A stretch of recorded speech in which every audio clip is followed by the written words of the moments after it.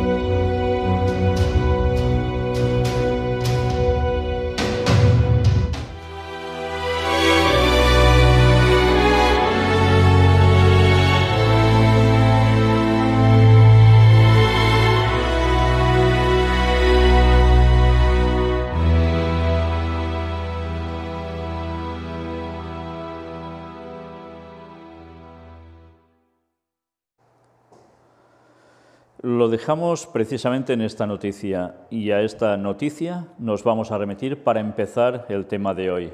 Iglesia de Suecia sugiere que Greta Thunberg es la sucesora de Jesús. Activista ambiental ha estado protestando todos los viernes desde agosto del año pasado en la puerta del Parlamento sueco, pero ya habéis visto que además ha estado en muchos otros lugares. Mirad qué nos dice la noticia. La Iglesia de Suecia, ha declarado que la activista adolescente Greta Thunberg es la sucesora de Jesús debido a su defensa del medio ambiente. Ya veis, es de raíces luteranas esta iglesia, ¿eh? no es una pentecostal, raíces luteranas. Pero vais a ver las distintas reacciones que esto ha causado. La declaración fue dada por Twitter desde la iglesia de Limman, el, del condado de Skane, y generó mucha controversia entre los fieles que estaban avergonzados por la declaración y acusación a la denominación de practicar la blasfemia. De eso la acusaron, de practicar blasfemia a esa iglesia en concreto por decir esto. Por tanto, no a todos les ha sentado bien eh, este título que le han puesto. Anunció, Jesús de Nazaret ahora ha nombrado a uno de sus sucesores, Greta Thunberg. Tuiteó la iglesia de Lindman para agregar más tarde que Thunberg, que ganó fama internacional por su hábito de faltar a clases todos los viernes para protestar contra el cambio climático en el mundo. El Parlamento sueco es un gran modelo para todos nosotros. Hubo reacciones encontradas de los seguidores de la Iglesia en Twitter y muchos miembros no estuvieron de acuerdo con la opinión de que la niña ambientalista era realmente una sucesora de Jesús. Te estás burlando del cristianismo. Mañana me voy de la Iglesia de Suecia, dijo un miembro bastante molesto en los comentarios del tuit. El cristianismo dice dale, a, dice, dale a César lo que es de César y a Dios lo que es de Dios. Cuando mezclas religión y política de esta manera, está claro que la Iglesia de Suecia ya no es para el cristianismo, dijo alguien más. Fijaos que algún miembro se da cuenta de que esto es mezclar religión y política. ¿Eh? Interesante el concepto, porque esto no se está vendiendo solo como política, se cree como medio ambiente solo, pero ya hay personas que se dan cuenta que esto va más allá de cuestión medioambiental. No, ella no es totalmente. Es una niña sin educación y adoctrinada, mal utilizada por sus padres. Realmente deberías entender mejor antes de poner más leña en este fuego. ¿Has perdido completamente tu juicio? Escribió otro usuario del microblogging. Muchos internautas creen que Thunberg es explotada cínicamente por los adultos. Comentarios que también se hicieron esta semana los internautas de todo el mundo después de que la adolescente habló en la Asamblea de la ONU en Nueva York. Por tanto, ya veis, hay discrepancias. Ese título que le han querido eh, poner, no todo el mundo está de acuerdo, incluso entre esos feligreses, que puede generar que algunos abandonen esa iglesia. Pero fijaos que esto es un paso ya bastante determinante para ir asociando conceptos religiosos en este aspecto, hasta el punto que evidentemente más de uno estará de acuerdo en que está haciendo un papel preponderante como el que hizo Jesús en su tiempo. Un auténtico disparate, por supuesto, pero a más de uno eso seguro que le gusta. Mirad ahora la vida de Greta Thunberg, la pequeña que dejó de comer cuando una maestra le explicó el cambio climático. Bueno, esto es tremendo, ¿eh? Resulta que una maestra le dice esto y la niña deja de comer y todo del gran disgusto. Y a partir de aquí nace en ella todo lo que ha venido después, con todo lo que hemos visto hasta ahora. Por tanto, ¿esto es eh, realmente así? Puede ser, pero desde luego les ha ido a la perfección los síntomas o, o su problema mental que tiene para que esto generara en ella lo que ahora pueden aprovechar tantos especialmente el papado. Vamos a destacar algo de aquí, de esta noticia, y es esto. Lo único que puede hacer la joven activista para evitar pensar por un momento en su preocupación por la grave crisis climática es visitar a Freya, un caballo que comparte con otros niños en un establo a las afueras de Estocolmo. Allí, peinándolo y limpiando sus cascos, es uno de los pocos lugares en los que por un momento se olvida del trágico devenir de la humanidad. Por tanto, ya veis, eh, ella está tan perturbada, solo hay una cosa que parece ser que eh, la relaja, y es estos momentos con este caballo. ¿Hasta qué punto es el agobio que ella siente por todo esto? O al menos es lo que nos están contando, ¿no? Vamos a ver a un vídeo, un vídeo que nos dice qué hay detrás del activismo de Greta Thunberg. Una vez más, personas que se plantean más cuestiones de lo que tantos medios aceptan ya de por sí. Si os habéis fijado en esas dudas que se generan alrededor de ella, ella misma responde eh, que hay muchas cosas que es cuestión de conspiranoicos.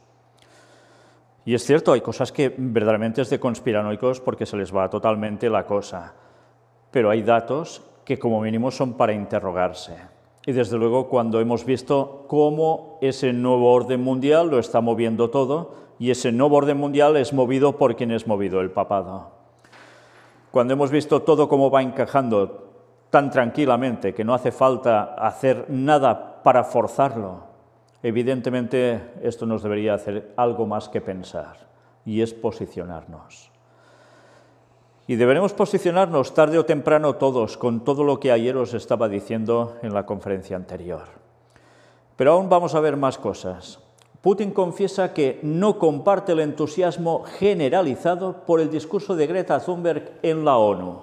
Cuando alguien usa a los niños y adolescentes para sus intereses, eso solo merece condena, manifestó el mandatario. Ya veis, eh, el señor Putin no le gusta lo que dice Greta, Parece que Donald Trump tampoco. Los dos grandes dirigentes de este mundo, aparte del chino, y ya no hablo del Papa, que es así, se manifiestan contrarios a sus declaraciones. Pero fijaos lo que llega a decir Putin. El presidente de Rusia, Vladimir Putin, declaró que no comparte el entusiasmo generalizado con respecto al discurso de la activista sueca Greta Thunberg en la Asamblea General de la ONU, quien denunció la insuficiencia de las medidas actuales contra la contaminación ambiental, según citan medios locales. Que los jóvenes y adolescentes llamen la atención sobre los problemas de hoy, incluidos los problemas ecológicos, es algo correcto y está muy bien. Indudablemente hay que apoyarlos, expresó el mandatario durante su intervención en el foro Semana Energética de Rusia y añadió, pero cuando alguien usa a los niños y adolescentes para sus intereses, eso solo merece condena. Putin afirmó que, pese a la admiración generalizada por la intervención de la ecoactivista sueca Greta Thunberg, A esta adolescente le falta un mejor entendimiento del mundo actual, donde muchos países en desarrollo todavía no se pueden permitir el lujo de usar energías renovables sin que disminuya su nivel de vida. Es que nadie ha explicado a Greta que el mundo moderno es complicado y multidimensional. Se desarrolla rápidamente y la gente en África y muchos países asiáticos quiere vivir al mismo nivel de riqueza que Suecia, continúa el mandatario.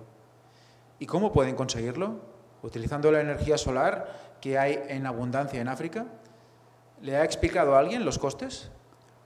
Se preguntó el presidente al sostener, basándose en datos de expertos mundiales, que el petróleo preservará sus ventajas en los próximos 25 años. Fijaos en las declaraciones de Putin porque son realmente interesantes. ¿eh? Lo que dice es cierto, un cambio radical en un momento no se puede hacer porque esos países que no lo están pasando tan bien tienen ganas de llegar al mismo nivel, por ejemplo, que Suecia, de donde es esta chica. Pero añade algo al final que es tremendo, una verdad que sabemos que es cumplimiento profético. Y no estoy diciendo que Putin es que sea un no sé qué elegido de Dios ni nada, por supuesto, no estoy diciendo nada de eso. Solo estoy diciendo la frase que está comentando él. El petróleo preservará sus ventajas en los próximos 25 años. Y en esos próximos 25 años a los cuales no vamos a llegar, el detonante de una guerra final tendrá que ver también con el petróleo. Tened esto presente, esto ya lo comentaban los adventistas en sus inicios, refiriéndose a la profecía final cuando Cristo vuelva. Y Él está certificando algo quizás hasta sin saberlo. Por tanto, evidentemente el petróleo tiene una gran baza aún en este mundo y la tendrá hasta el final. No olvidéis eso. Sigue diciendo algo más la noticia. Problema energético. Putin no ha negado que las energías renovables irán consolidando sus posiciones en el mercado y ha señalado que es la meta que hay que tener, pero ha subrayado que a día de hoy estas te tecnologías son poco asequibles para los países en vías de desarrollo. El presidente de Rusia también ha sugerido a los medioambientalistas que les expliquen a los residentes de los países en vías de desarrollo y a sus hijos que tienen que vivir en pobreza unos 20 o 30 años más por usar energías limpias. Si queremos ser eficaces tenemos que ser profesionales, ha concluido el mandatario. Bueno, uh, frases contundentes, ¿eh?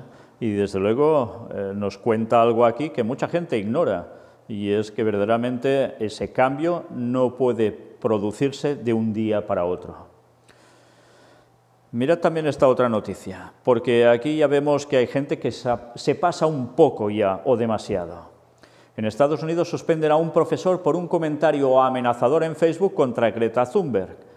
No tengo mi rifle de francotirador, escribió el profesor en los comentarios a una publicación que anunciaba la visita de la activista climática a Iowa City. Desde luego, una cosa es no estar de acuerdo y delatar lo que hay por detrás, y otra cosa es hacer ciertos comentarios que, desde luego, tampoco es que rebosen de cristianismo. Mirad la noticia. El profesor estadounidense Matt Baich fue suspendido de su trabajo por haber dejado un polémico comentario en Facebook sobre la activista medioambiental sueca Greta Thunberg, según confirmó la portavoz portavoz del distrito escolar de la comunidad de la ciudad de Waterloo, Iowa, Tara Thomas, a The Hill. Baich, que figura como maestro de ciencias en el sitio web de la escuela secundaria de Waterloo West, supuestamente respondió a una publicación que anunciaba la visita de Thunberg a Iowa City. No tengo mi rifle de francotirador, escribió el profesor en los comentarios.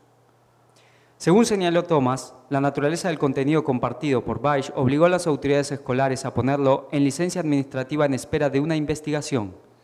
Al personal y las familias de la escuela se envió un mensaje al respecto de la situación en las redes sociales que involucra a uno de nuestros empleados, informó The Courier. Agradecemos su paciencia mientras analizamos los detalles y le agradecemos por respetar el proceso, rezaba el mensaje de la escuela. Mientras tanto, Thunberg llegó a Iowa City el viernes para participar en una protesta climática junto con otros 3.000 activistas que se reunieron en el centro de la ciudad. Ya veis, es una forma de decir las cosas muy poco adecuadas y eso sí, todo venía porque esta chica iba a ese lugar a seguir con lo que está haciendo su activismo. Pero también hay que tener presente que ya veis que eh, cuidado con lo que se llega a decir porque el control cada vez es más absoluto y ahora porque era como una amenaza. Pero imaginaos si dentro de poco ya tan claramente todo el mundo acepta estos planteamientos como correctos, ¿qué pasará si tú te opones a ello? Nos quieren silenciar. Greta Thunberg señala a personas poderosas como Donald Trump. Fijaos que ya es un encaramiento prácticamente. Esta activista sueca considera que a esos individuos no les gusta el impacto generado por las personas de su generación que luchan contra el cambio climático. La ambientalista sueca Greta Thunberg cree que las personas poderosas como el presidente de Estados Unidos, Donald Trump, atacan y emplean varios métodos para mofarse y silenciar a jóvenes comprometidos como ella por su, repercusión social, según comentó a Yahoo News el pasado 4 de octubre. Esta adolescente declaró que algo debe haber cambiado en el debate si tantos jóvenes están diciendo lo que piensan y tantos jóvenes están siendo atacados. Tras participar en un meeting estudiantil celebrado en Iowa City, Estados Unidos, cuando aventuró que quizás pueden sentir que estamos teniendo un impacto y obviamente no quieren eso. Fijaos que dice tantos jóvenes están siendo atacados por apoyar los planteamientos de ella y los del Papa, diría yo.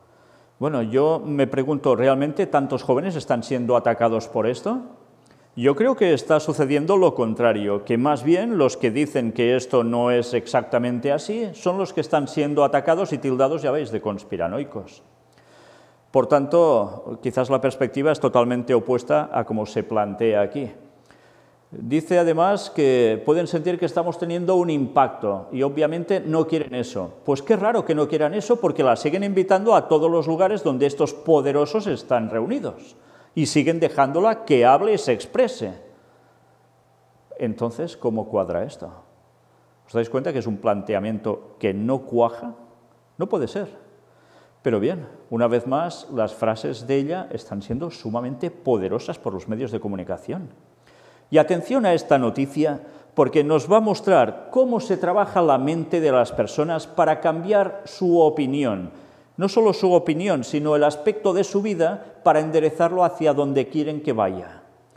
Un pensamiento moonshot para la emergencia climática, fijaos bien, ¿eh? para la emergencia climática, y es algo que se va a efectuar en Madrid.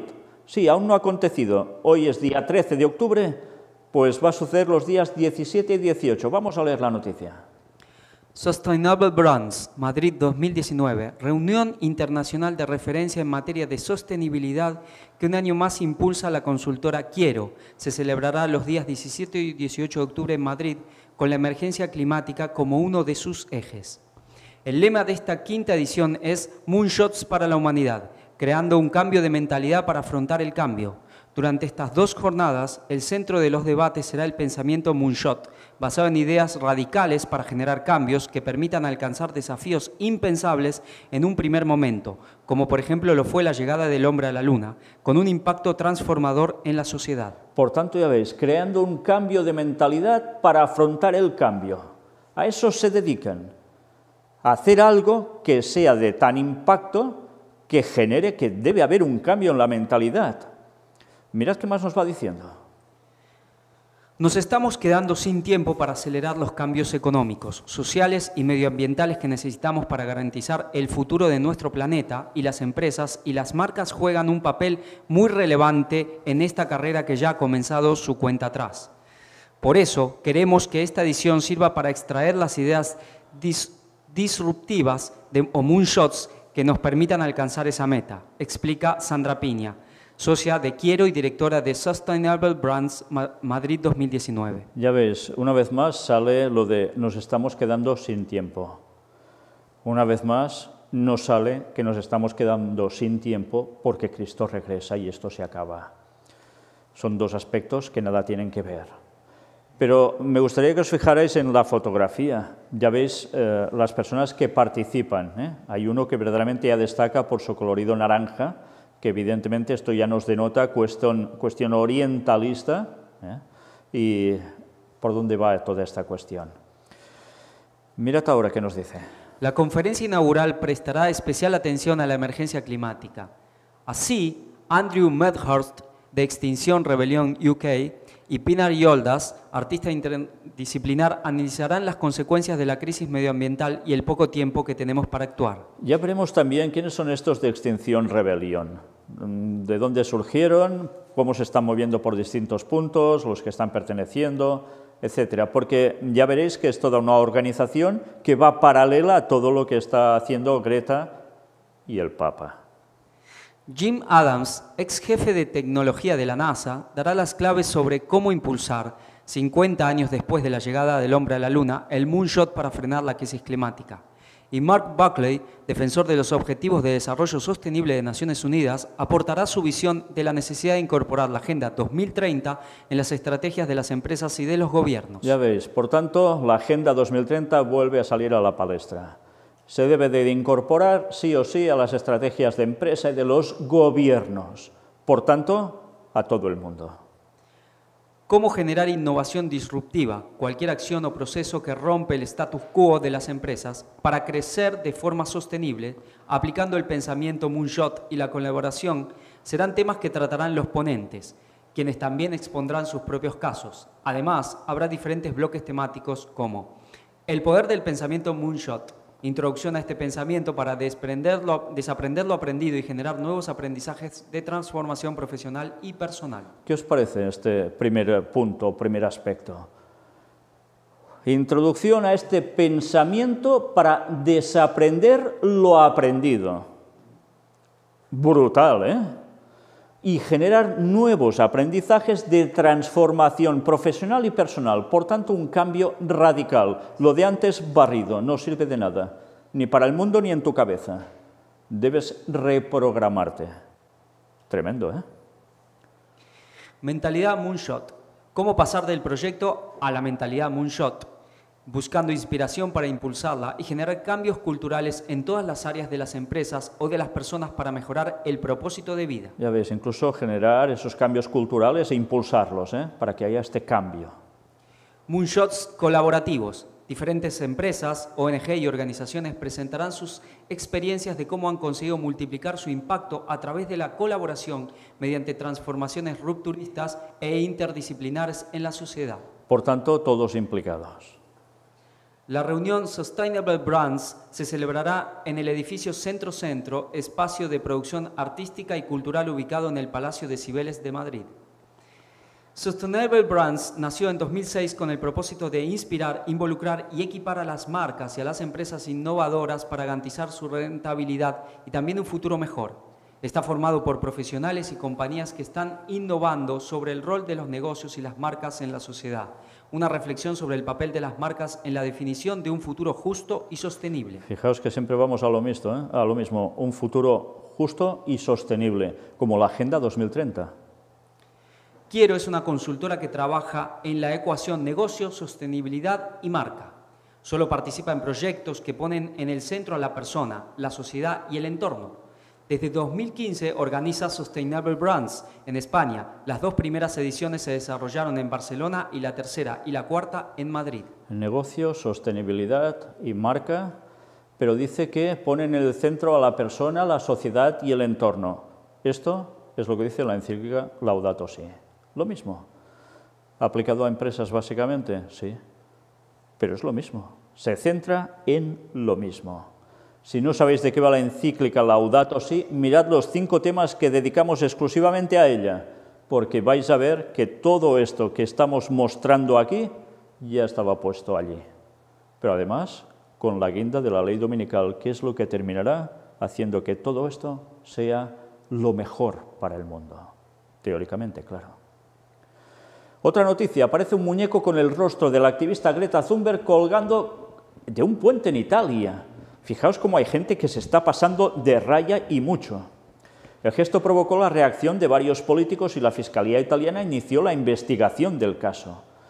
Ya veis, todo esto lo que está generando es que realmente llegue un momento en que ya no puedas oponerte para nada, porque cuando se llegan a estas medidas tan extremas, a estos acontecimientos que alguien hace, lo que se provoca es generar un corte para que nada de esto suceda.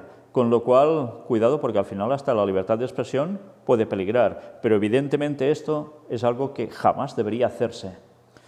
Mirad qué nos dice. Un muñeco que representa a la activista climática Greta Thunberg ha aparecido este 7 de octubre colgando de un puente en Roma, informa la agencia ANSA.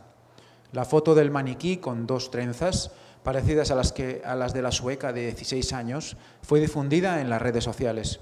Cerca de la figura apareció también un cartel que reza, Greta es tu Dios. Fijaos, ¿eh? el cartel de hecho no está diciendo ninguna tontería porque para muchos ya lo hemos visto también para esa iglesia de Suecia. ¿eh? Y cada vez parece ser que va más por aquí. Fijaos eh, la facilidad que tenemos los humanos de hacer ídolos de otros humanos. Y en este caso, por todo lo que ella representa.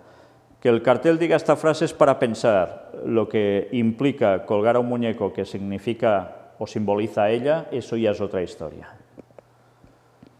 La Fiscalía italiana inició la investigación del caso. Según detalló la agencia ANSA, el grupo Gli Spegli se atribuyó el hecho de, en una publicación en Facebook, donde dijo que el muñeco tenía el rostro del activista y prometió que realizarán otras acciones. Mientras tanto, el gesto provocó la condena de varios políticos del país europeo. De esta manera, el ministro del Medio Ambiente de Italia, Sergio Costa, declaró que el muñeco insulta a todos los activistas medioambientales. Cualquiera de nosotros, cada ciudadano involucrado en la lucha por el clima y el planeta, y no solamente debe sentirse afectado, es un acto criminal que nos hará estar más unidos en el mismo frente, afirmó a través de su cuenta de Twitter. ¿Os dais cuenta? Es un acto criminal que nos hará estar más unidos en el mismo frente, con lo cual cada cosa que digas, aunque no llegues a esos extremos, ya les va a patinar totalmente, lo van a rechazar pero cuidado porque cada vez más ese grupo se va potenciando y lo otro queda como minoría hasta que al final esa voz también tenga que esfumarse. Al mismo tiempo, la alcaldesa de Roma, Virginia Raggi, eh, expresó su apoyo a la joven y la solidaridad de su ciudad con la familia Thunberg. Por tanto, esto es lo que conlleva. Y cada vez una postura más separada de la otra. Los casos extremos provocan que al final las cosas que no son extremas también sean consideradas en esa vertiente. Las cosas no pasan tampoco porque sí. Y mirad ahora esto, el sínodo amazónico. Trataremos ampliamente de él, de lo que está pasando durante estas tres semanas en que se está haciendo este sínodo en el Vaticano. Mostraremos muchos aspectos de lo que allí se está comentando, de lo que va a surgir también después de allí. Pero ahora nos vamos a centrar en cómo este sínodo amazónico también trata, en parte, sobre Greta, los jóvenes protagonistas de la ecología integral. Esto es parte del debate de lo que habrá allí, entre otras cuestiones que ya veremos en su momento. En la tarde del lunes 7 de octubre, el trabajo del Sínodo Especial para la región panamazónica continuó en presencia del Papa con la segunda congregación general y con las elecciones de los miembros de la Comisión para la elaboración del documento final y de la Comisión para la Información. 176 padres sinodales en el aula. Me salto esto para ir directamente a otro punto que es este. Greta Thunberg y el protagonismo de los jóvenes. Luego hubo espacio para las intervenciones de los padres sinodales sobre diversos puntos del Instrument Laboris. En continuidad con el sínodo sobre la juventud de 2018, hemos reflexionado sobre la importancia del protagonismo juvenil en la ecología integral, con el ejemplo de la joven activista sueca Greta Thunberg y la iniciativa La Huelga por el Clima. Fijaos que están reflexionando sobre esta ecología integral, pero por el protagonismo juvenil y especialmente su portaestandarte, Greta. La opción por los jóvenes, la necesidad de dialogar con ellos sobre cuestiones de protección de la creación ha sido mencionada varias veces, junto con la necesidad de reforzar el compromiso social de los niños, capaz de estimular a la Iglesia a ser profética en este campo. Fijaos que ya se centran en los niños, van a por los niños, no solo los jóvenes, los niños también. ¿Por qué? Porque si a un niño ya lo van mentalizando desde pequeñito, así crecerá y por tanto esa semilla es la que fructificará. Y por tanto, cualquier otro concepto que se le diga a la criatura cuando va creciendo, difícilmente le va a entrar programación. El corazón joven, se dijo, quiere construir un mundo mejor, porque la generación de jóvenes representa una doctrina social en movimiento.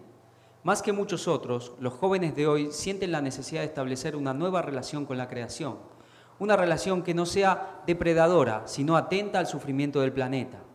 Por eso, el tema del medio ambiente, que es también ecuménico e interreligioso, debe ser visto por la Iglesia como un desafío positivo. Ecuménico e interreligioso. ¿Os parece poco?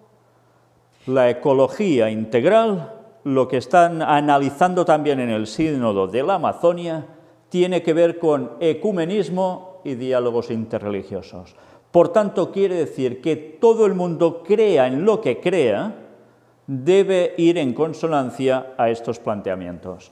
No habrá excusa posible. Como una exhortación al diálogo con los jóvenes, ayudándoles en el discernimiento adecuado para que su compromiso con la protección de la creación no sea solo un eslogan verde y de moda, sino que se convierta realmente en una cuestión de vida o muerte para el hombre y para el planeta. ¿Os estáis dando cuenta que hablan de protección de la creación?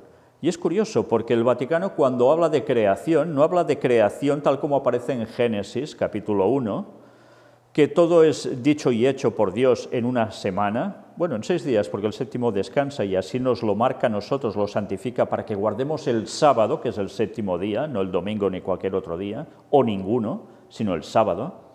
Y ellos hablan de que la creación no fue así, sino que es a través de la evolución que se hace la creación por parte de Dios. Una cosa que también sorprende, ¿cómo puede haber evolución sin muerte? Y la muerte, dice el texto, que es por causa del pecado.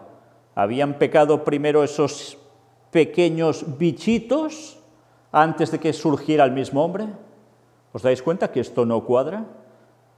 Por tanto, señores, cuidado, porque ahora entenderéis por qué el Vaticano es tan especialista en desvirtuar el mensaje original bíblico que aparece en Génesis y en Éxodo también.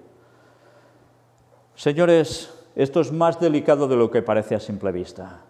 Esto lo que nos está diciendo es que les están entrando un concepto de creación a todo el mundo, incluso en los que creen en la teoría de la evolución y no aceptan que Dios sea el creador.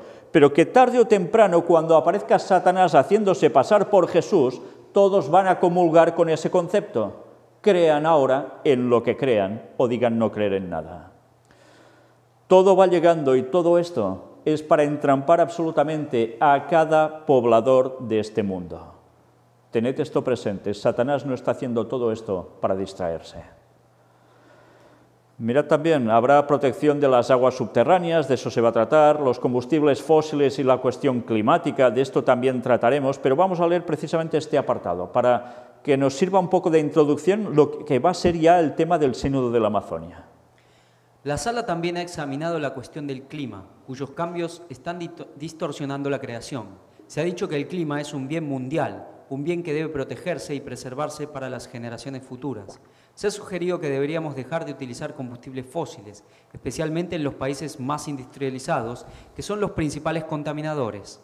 En la sala también se reflexionó sobre la necesidad de superar aquellas formas de colonialismo que han caracterizado gran parte de la misión de los siglos pasados, a favor de la preservación de las identidades culturales de la Amazonia. Cada una de las culturas, de hecho, da su contribución a la catolicidad de la Iglesia, constituida por el respeto y la complementariedad. Y citando a San Juan Pablo II, los padres sinodales recordaron que Cristo anima el centro mismo de toda cultura, porque después de todo se subrayó que la Iglesia es un ecosistema complejo con una maravillosa biodiversidad espiritual que se expresa en diversas comunidades, expresiones culturales, formas de vida consagrada y ministerios. San Pablo fue citado varias veces como el primer apóstol de la inculturación, en el que se convirtió en griego entre los griegos. ¿Os dais cuenta cómo todo va ligando? Eh, se citan palabras de San Juan Pablo II, lo han hecho santo, ya lo sabéis, los padres sinodales, etcétera, etcétera. Hablan de Cristo como el centro de cualquier cultura. Lo que están haciendo es lo que veíamos antes, ecumenismo, interreligiosidad. Esto lo impregna todo. Y ya veis, ¿Todo centrado en qué? El tema del medio ambiente. ¿Os habéis fijado que se habla también aquí de las cuestiones de identidades culturales de la Amazonia? Están hablando de los indígenas. Y recordad, Greta, ¿con quién se encontró también? Con indígenas. Lo mismo que el Papa. Qué paralelismos tan extraños, ¿no? Habla aquí de ritos indígenas, los viri probati, etcétera, etcétera. Todo esto ya lo veremos en su momento. Ahora nos vamos a centrar en esta otra noticia sobre George Soros. Emerge como el principal financiador de los grupos de... ¿De qué? Global Climate Strike. ¿Qué significa? Pues huelga por el cambio, bueno, por el clima global.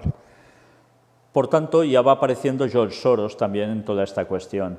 Veréis que aquí quizás nos implica de lleno a Greta, pero tiene que ver con esos movimientos que están llevando a cabo todos estos movimientos a su vez a nivel mundial. Fijaos lo que nos dice. George Soros financió grupos ambientalistas radicales que se asociaron en el Global Climate Strike de esta semana por una suma de casi 25 millones de dólares, según un nuevo informe.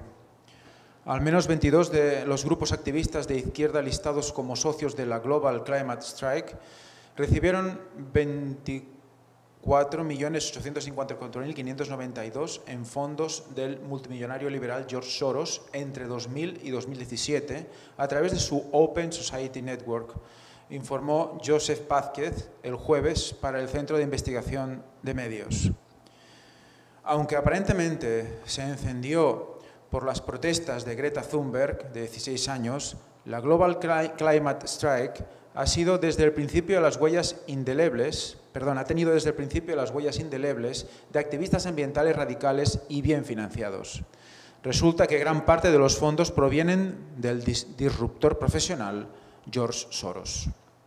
Entre las organizaciones que reciben fondos de Soros se encuentran el Fondo para los Derechos Humanos Globales, el Fondo Global Green Grants, 350.org, Amnistía Internacional, Abad, Color of Change y People's Action. Cada uno de estos grupos tiene agendas y objetos relacionados con el clima que abarcan desde la reducción de las emisiones globales de carbono a menos de 350 partes por millón y 100% de energía limpia hasta la eliminación de nuevos proyectos de combustibles fósiles y un movimiento de derechos civiles ecológicos. Sobre George Soros hemos hablado ya varias veces, por tanto ya no hace falta seguir incidiendo en él, pero ya veis que hay un cierto tipo de personas que mueven muchísimo dinero, que son los que están a su vez moviendo a estos tipos de grupos, que en este caso son los medioambientalistas. ¿Y para qué sirve todo ello? Pues ya lo veis, para pedir una serie de cosas que se deben llegar a instaurar, que es lo mismo en definitiva que está pidiendo el papado. De ahí que ya habíamos hablado también de cómo George Soros y el papado también van de la mano. Otros donantes importantes han incluido Next Gen America, candidato presidencial demócrata Tom Steyer, así como el Sierra Club, que según los informes recibió millones del exalcalde Michael Bloomberg. El grupo 350.org, fundado por Bill McKibben en 2008, ha luchado contra, eh, contra, el poder del carbón en la India y ha tratado de detener el oleoducto Keystone XL en los Estados Unidos. Mientras los niños marchaban, cantaban y twerking, para la Global Climate Strike, un grupo de más de 500 científicos y profesionales hicieron un llamamiento a las Naciones Unidas para un debate abierto y desde hace mucho tiempo sobre el cambio climático. La ciencia del clima debería ser menos política, mientras que las políticas climáticas deberían ser más científicas. Declararon los científicos y su declaración enviada al secretario general de la ONU. Los científicos deben abordar abiertamente las incertidumbres y exageraciones en sus predicciones del calentamiento global, mientras que los políticos deben contar desapasionadamente los beneficios reales, así como los costos imaginarios de la adaptación al calentamiento global y los costos reales, así como los beneficios imaginarios de la mitigación, ellos dijeron. Fijaos que todo esto ya conllevó a una serie de diálogos eh, planteándose todas estas cuestiones. Y una vez más, ¿os habéis fijado que antes hablaba de que niños marchaban, cantaban, etcétera? ¿Por qué? Una vez más se trabaja con ellos. Es la forma de hacer cambiar la mentalidad de la siguiente generación, de un modo radical. ¿eh? Los firmantes también insistieron en que las políticas públicas deben respetar las realidades científicas y económicas y no solo reflejar la tendencia más moderna del día. No hay emergencia climática, por lo tanto, no hay motivo de pánico y alarma, señalaron. Nos oponemos firmemente a la política neta de CO2 neta y no realista propuesta para 2050. Hay algunos que, ya veis, se manifiestan totalmente contrarios. No hay emergencia climática. Científicos que también dicen esto. Pero cada vez son más acallados. No, no, es que todo lo que vemos ya se ve que está habiendo un cambio. Claro que lo está viendo. Otra cosa es que te digan el por qué está viéndolo. Pero hay otros datos que tampoco terminan de corroborar lo que otros están teniendo con tanto peso, haciendo incidencia en ellos. Y termina diciendo esto. Si surgen mejores enfoques, y ciertamente lo harán, tenemos tiempo suficiente para reflexionar y adaptarnos. El objeto de la política internacional debe ser proporcionar energía confiable y asequible en todo momento y en todo el mundo, dijeron. Por tanto, ya veis, observaciones a tener en cuenta, pero que cada vez parece ser que menos se van a tener en cuenta. Y atención ahora, porque ahora viene la parte movida de estas conferencias dedicadas a Greta, y movida literalmente, ahora lo vais a ver. Fijaos en este titular, Fatboy Slim reproduce un remix con el discurso de Greta Thunberg en una fiesta electrónica. Sí, sí, en una fiesta electrónica, tipo discotequera total. El artista utilizó una grabación que mezcla uno de sus temas con las encendidas palabras de la adolescente sueca. Mira qué nos dice. El fenómeno de la joven activista sueca Greta Thunberg ha trascendido, sin lugar a dudas, los límites de la agenda política y medioambiental. Sus encendidas palabras no solo se han convertido en memes, sino que incluso se prestaron a variadas interpretaciones artísticas. Primero fue una versión metalera que enseguida recibió millones de reproducciones en línea. Ahora, el popular disc jockey británico Norman Cook, más conocido por su nombre artístico, Fatboy Slim, reprodujo durante un reciente concierto un remix musical que mezcla una canción suya con el discurso de Thunberg en la cumbre, en la cumbre sobre la acción climática 2019 en Nueva York. Uno de los asistentes al evento de música electrónica que se celebró el pasado sábado en la ciudad británica de Gateshead, filmó el momento y la grabación no tardó en hacerse viral en la red. El remix, publicado originalmente por el usuario de Twitter David Scott y compartido luego por el propio Fatboy Slim a través de Facebook, combina la canción Right Here, Right Now del intérprete cuya letra coincide con una de las frases del discurso de Thunberg. Y una vez más nos damos cuenta que ahora esto también vende a nivel musical. Hemos visto que dice algo de una cuestión de una canción tipo heavy, heavy metal, que tenía que ver con las palabras de Greta. Lo vamos a ver también después. Ahora nos centramos en esta, que es un poco distinta, en plan música electrónica y vaya festorra. ¿eh? Miradlo bien.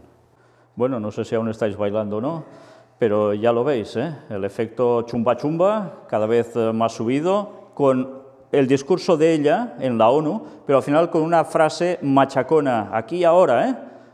cada vez más fuerte. Y todo esto va quedando en las mentes de los que allí se lo están pasando bien, teóricamente. Bueno, pues es una forma de que ese mensaje también llegue aún a más jóvenes. Y evidentemente el autor de la canción esto lo ha asociado allí por algo. Esto vende. Pero es que ese mensaje evidentemente lo que hace aún es a través de la música, promocionar más lo de Greta con todo lo que ello implica. Bueno, yo diría lo del papado con todo lo que ello implica. Y ahora tenéis la otra movidita. Greta Thunberg y su discurso en versión heavy es, si cabe, más alarmante. La joven sueca se ha convertido en una líder de opinión y como tal con ello llegan los memes. Ya sabéis, la gente va haciendo de las suyas también en los medios eh, de comunicación social.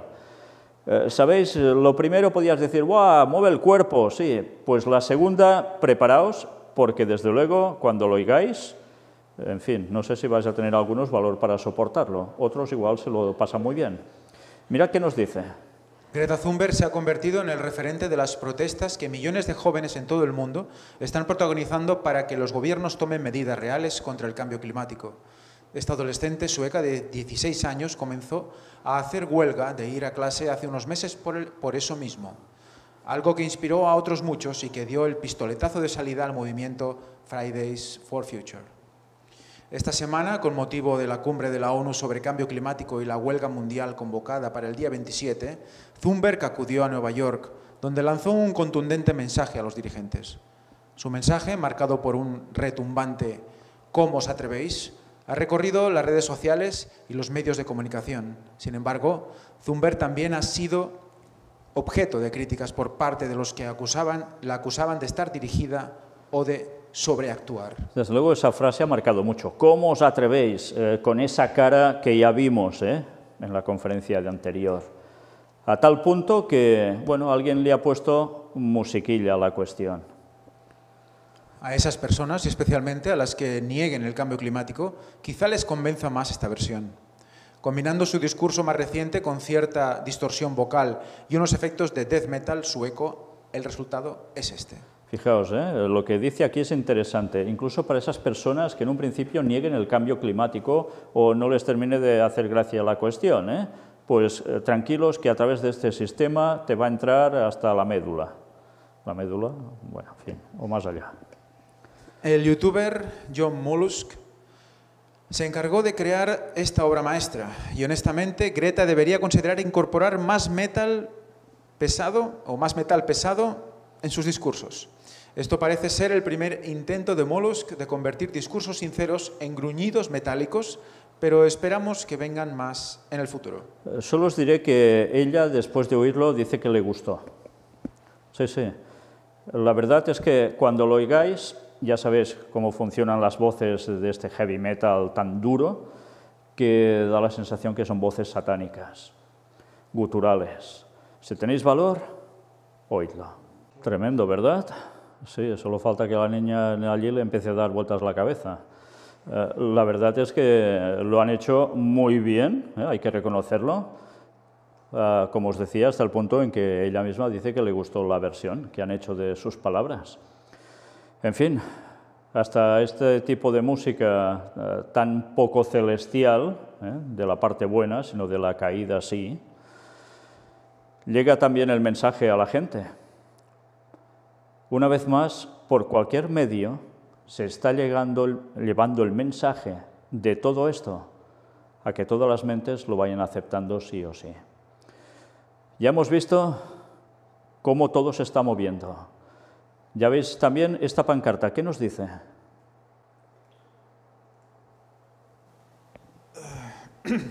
Trabajos de activismo, actúa. Pancartas se están haciendo y se están vendiendo. Activismo funciona. Ah, activismo funciona, entonces actúa. Sí.